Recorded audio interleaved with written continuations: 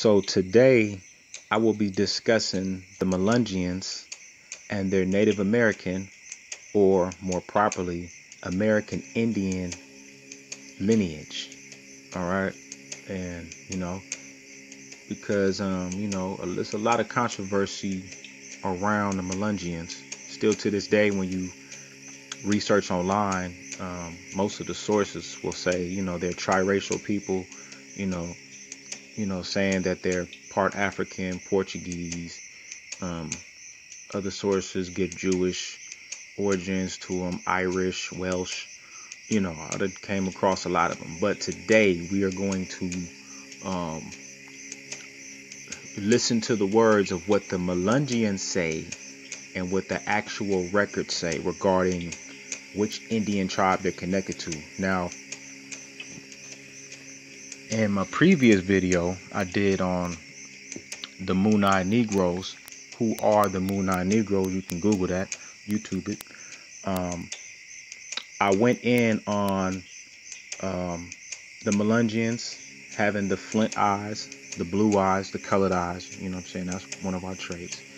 And I also cited one source from Children of Perdition, Melungeons and the Struggle of Mixed America by Tim Hashaw, page 2, in that video that specifically, it was specifically noted um, that they were children of perdition, the unholy offspring of the devil and the Cherokee woman in Tennessee. That is key right there. Um, because that actually ties into a myth. So, um, and later in this video, I'm gonna go through census records too. But yeah, so Melungeons are said to descend from Cherokees. That's what this is really all about too. All right, so um, and I've already shown that um, you know Melungeons are born with more than five digits on hands and feet. You know, they basically they were born with six digits and six uh, toes. You know, because they descend from the Mooneye Negroes. They are the original um, of the of the original um, or Allegheny Mountain Indians. Ani Nane Hiya. Um, by the way, that's our word for Aboriginal. It means old settlers. All right, so moving to another source um, this particular source I'm gonna read comes from a uh, a journal article titled "The Melungeons: A Mixed Blood Strain of the Southern Appalachians," and uh, this is by Edward T. Price. All right, as you can see the source right there. Now, in this, he goes in on um, the Goins, a surname Goins of um, a particular uh, concentration of Melungeons in the southeastern Tennessee. All right, it's in the village of Graysville. You know, so um, I'm gonna read uh, later at the bottom part. Um, the Melungeons here are characterized by a single surname, Goins. Though, though several other names have been acquired, apparently by intermarriage.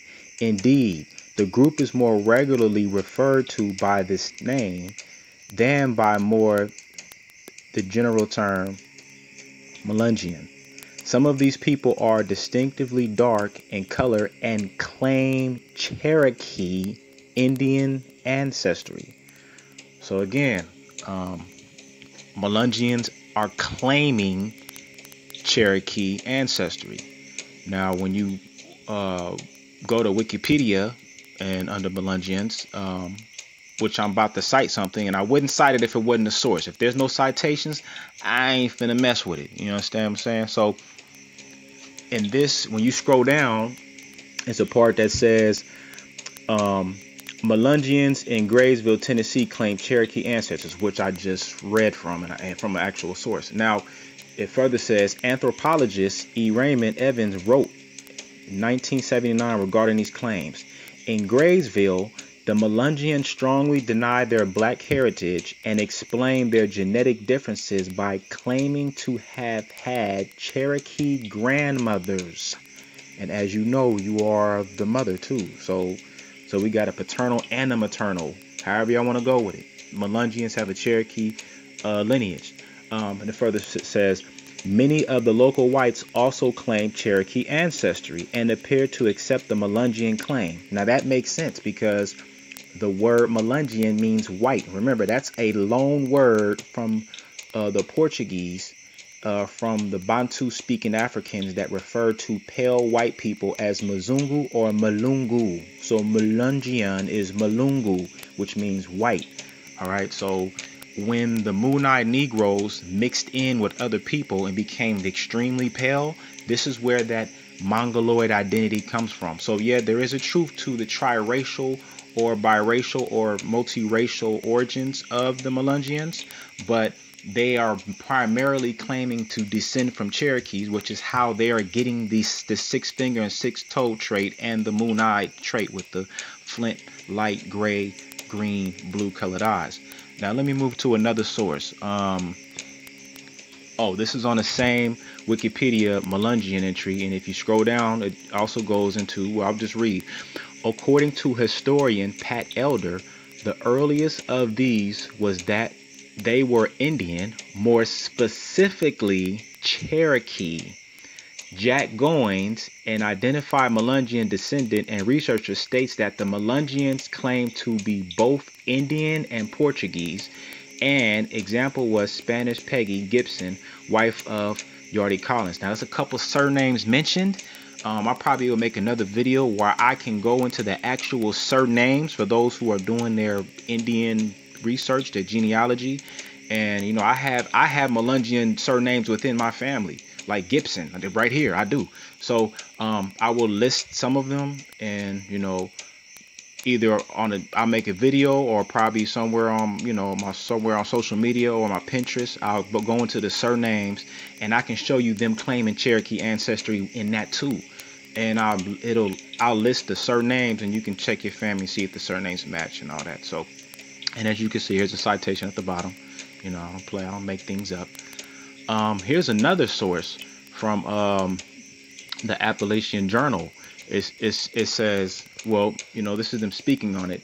The uh, ancestry says, speaking anecdotally, it is our experience that these two matches often appear in test results of people claiming Cherokee ancestry.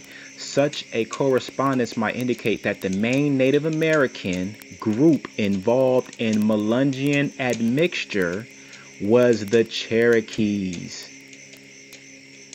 See, but this is probable assumption for admixed whites in general. That's where the Melungeon comes in, especially in the eastern United States, since the Cherokees are the most numerous indigenous nation and descendant group today.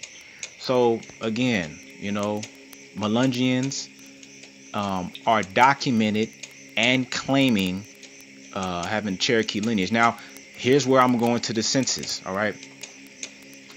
This is from the Tennessee Encyclopedia. All right. It says in 1894, the U.S. Department of the Interior, in its report of Indians tax and not tax, noted that the Melungeons in Hawkins County claimed to be Cherokee of mixed blood. So again, another another source. All right, all right, and you can check that source.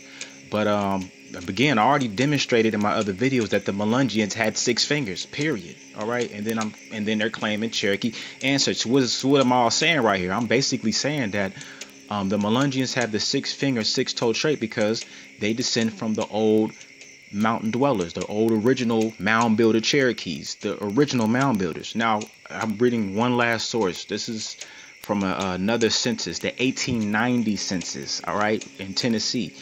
And it states, um, where do I start from? The Melungeons or Melungeons in Hawkins County claim to be Cherokee of mixed blood, white, Indian, and Negro their white blood being derived, as they assert, from English and Portuguese stock. They trace their descent primarily to two Indians, Cherokees, known one of them as Collins, that's a surname, the other as Gibson, who settled in the mountains of Tennessee, where their descendants are now to be found. All right, about the time of the admission of that state into the Union.